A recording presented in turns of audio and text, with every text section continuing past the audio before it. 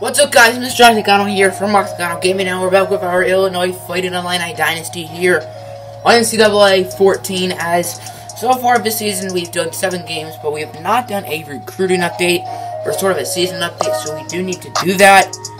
Because yeah, as you can see we're 6 and 1, we pretty much clinched a bowl game last week. There's a chance we could miss a bowl if we go to 6 and 6 but uh, I don't think we're going to be 6 and 6, I mean we're playing 1 in 7 minutes of next game, so I'm pretty confident. It says Illinois is worried about being overconfident against conference foe Minnesota. I guess I was just talking about confidence. Maybe I shouldn't be so confident. So, we're going to go over recruiting, uh, the season, like rankings and stats and stuff.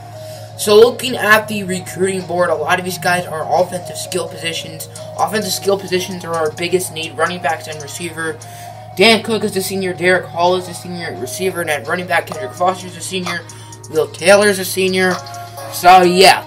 So, uh, my number one guy that I really want is Kyle Davis. I think he's like the 11th best player in the country.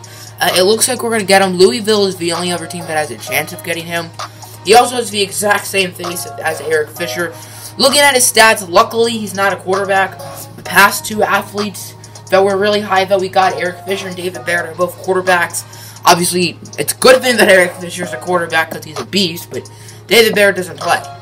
So, looking at his stats, he's exactly what we need, and that is, I think he's a wide receiver.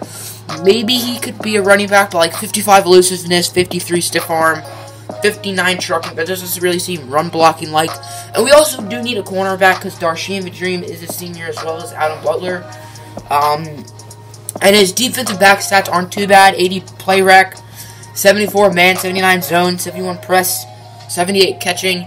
But I think he's a wide receiver personally. I think we need a wide receiver more. We do have some good freshmen with like um, Matt Bar or not not Matt Barnes, Matt Richard and Daniel Barnes, Ron Sport. And unfortunately, literally everyone visited against the uh, for the Ohio State game. I don't know why we had so many recruits visiting for the Ohio State game. But luckily, Kyle Davis didn't. He's like the only one, and he's probably the one I care about the most, so works out. Looking at some of the other guys, Quayshawn Law, I think it's like in the top 20. He's number 5 star, he's a wide receiver. Uh, looking at him, we have almost all of them scouted, 78 overall. Looks like an absolute beast. I'm not giving him all my points because we have a pretty solid lead on him. Same with Darius Shrub the second, a running back, of course. We need a running back. I think it said he's a power back. 91 speed is very, very solid. Not huge on all the C's in the rushing category and the deep breaking tackle. But he's young. He'll definitely improve. I don't think he's like starter talent, but like I might consider starting him if we get him.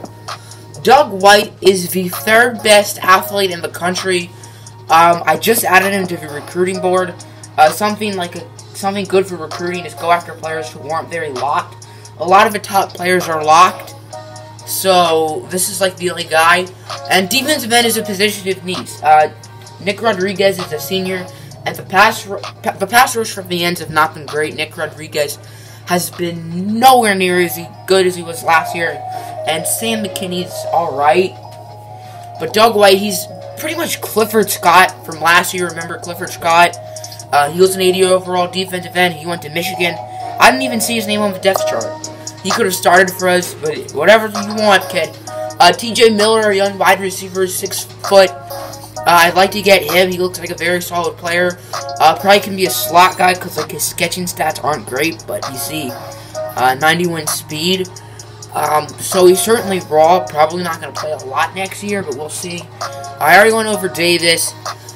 Uh, don't really need to talk about them. Joseph Hodges, I really want him because our offensive line is not the most talented and we don't have a lot of players we're high on for recruiting, so I need to get him. Did he visit? Yeah, against that Ohio State game. Uh, John Rogers looks pretty good. Uh, hopefully we can get him. Mark Sampson. Honestly, I'd be a little surprised that if we get him, even though we are winning. But hopefully we can. We could use an outside linebacker because Trey Watson is a senior and Marcus Miller is a junior. Aaron Burns, we're definitely going to get him. He looks like an absolute baller. 76 overall. He's a JUCO. 82% uh, locked, and we are the only team at the projected cutoff. So we're going to be getting him any week at this point. Middle linebacker, is a position of need because both of our starters, Del'Shawn Phillips and Adam Wade, are, are both seniors. But with Aaron Burns and freshman Billy Ashley, we have a bright future at middle linebacker, and in fact, a huge need if we get Burns. We have Billy Ashley, who's about as good as Burns now. Uh, Patrick King, probably not going to get him. Benson, we're going to get. Cotton, hopefully we get. Anyone else down here? Jimmy Butler. Just thought that was kind of funny. Looks like we're going to get him. Uh, we have two commits so far. The first one is James Landry. Uh, if we get that white guy, he's probably... Well, Doug White, he's actually not white, which is kind of funny. Um, because I said he's a he's white guy, but he's not. Okay, that's kind of strange. I, you, I am confusing you, but uh, we did get J Mr. James Landry. Uh, he's probably gonna be depth next year, but uh, Sam McKinney isn't great. We may even start him over Sam McKinney. And the other guy we got was Brent Charles. We need a kicker because Akeem Manson sucks, and he's a senior anyway. So all we have is punter Jonathan Hand, who's like a freshman. I don't even really remember committing to him. He might be like a walk-off. So currently we have the 95th best class.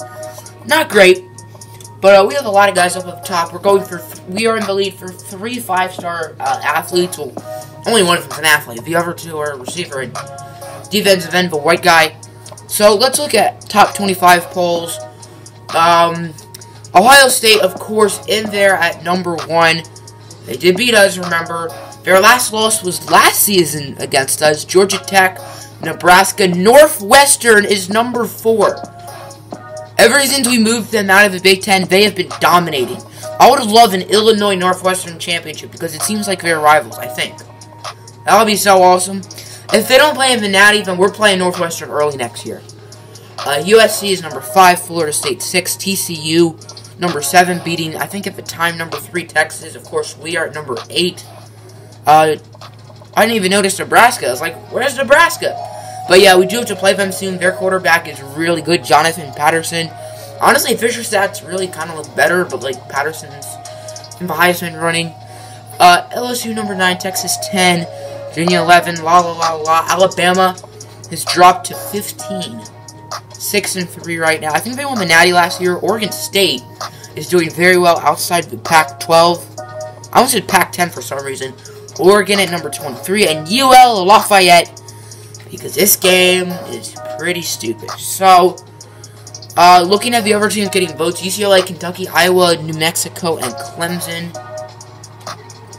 Okay. So now we're going to look at, I think, let's look at a Heisman watch first. Uh, Jalen Hurts, Jacob Thompson, Jonathan Patterson season Heisman running, and look at that. Last game, he was 10 for 27. Drew Lock and D'Onta Foreman. Alright, is there anything else? Championship contenders. It's not going to put us very high because it never has. Uh, so 8, C, 59, 36, and 22. Obviously, the next two years we're going to be really good because Eric Fisher, assuming he stays for a senior year, will be on the roster. Um, here's a look at the roster, by the way. Eric Fisher's already our second best player, behind Kendrick Foster, who is a senior. Fisher is a 91. He was a 79 when we got him. Uh, and now he's a 91 halfway through his sophomore season. So he's definitely going to be... He might hit 99 at the end of his junior season. Uh, Will Taylor, Key Manson deserves to be like a 2 overall. A lot, a lot of 80s. A lot of 80s. As you can see. And but most of these guys aren't starting. Uh, Brian Booth is starting. Matt Richards sometimes starts. Uh, but other than that, I don't see any of these guys who are starting. So now let's look at stats. We're going to look at the whole league and look at our team. Anything I need to do? I don't think so. Oh, you can practice? I never knew that. Huh, that's pretty cool. Um, so season stats. Looking at uh, what we've done this year, David Barrett has played really well when he has gotten a chance to play. Eric Fisher, the completion percentage I'm not huge on, 58%, but he's only thrown 5 interceptions. He's never been a big interception thrower. Last year he threw 10. He's probably going to throw about the same. 19 touchdowns, so he's probably on pace for maybe 35 touchdowns, which I think is also very similar to last year. 26, so probably about the same amount of yards, more touchdowns, same amount of picks. Um, he's been about as good as he was last year. As it was this year. For completion percentage, has been a little bit annoying, but for receivers, haven't really been too reliable. Kyle Busch has obviously made a lot of drops. Kendrick Foster has made some drop passes. Running the ball, Kendrick Foster has played pretty well this year. Uh, with Eric Fisher, we have not run the ball as much as we did. I know 47 rushes seems like a lot, but they count sacks as rushes in this game. He had 10 rushing touchdowns last year. This year, he only has one because we've been more cautious with him with all of the injuries he got last year. He started every game last year, but he got hurt a lot. So we just don't want to risk it, and it's worked because he's gotten hurt much less. Will Taylor only has three carries, really.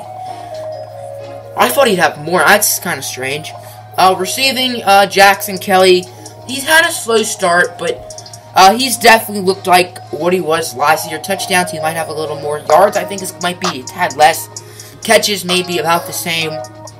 So Jackson Kelly, um, he's certainly done better as the season's progressed. Kendrick Foster has played well receiving, even though he's had a few drops. Is it. Yeah, three drops. Uh, Kyle Busch has three drops as well. Uh, Derek Hall's played well. Dan Cook has been kind of uh, disappointing. I expected more from him. Uh, Daniel Barnes and Matt Richard have each gotten to play a little bit, not too much. Kyle Busch, uh, he needs to improve. Uh, Anthony Riley has two touchdowns, and Will Taylor has 41 receiving yards. Blocking, the offensive line has been better than I thought it would be, considering 87. I don't think he's starting. 80, 80, um, 78, 82, and 81 with uh, Jay Simpson. Uh, on the defensive side of the ball, Del'Shawn Phillips leads in tackles. He's been very good this year. Hopefully he gets drafted. Marcus Miller in second. Really interesting. Um, Charles Cook has played really well lately. Darshim's had a very good season. Trey Watson has sort of cooled down from his red hot, red hot start. Brandon Booth has been playing some really good football. Melvin Washington only has nine tackles. I don't know if that says like that he's done really good in coverage.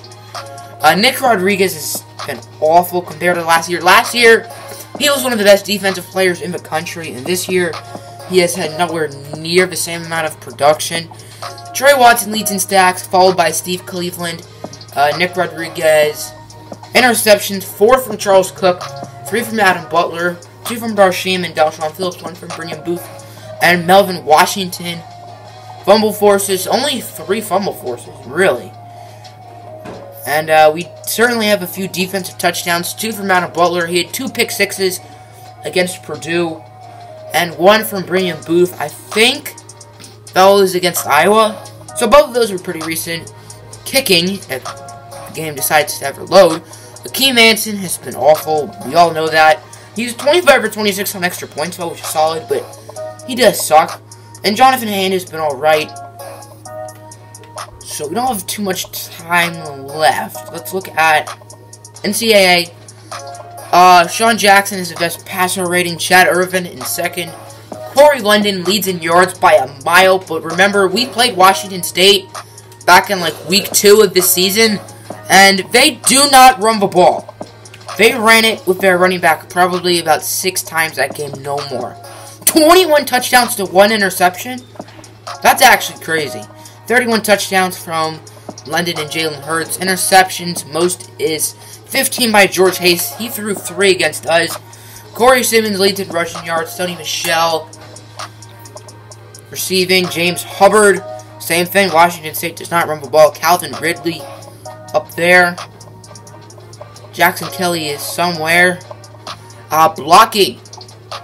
Um, 11 sacks allowed by a center. Three centers. That's honestly kind of surprising. One of them's a 93. Mike Handy leads the NCAA in tackles, sacks. Trey Watson's in second behind Aaron Howell. He's been in second for a while. Howell's been in first.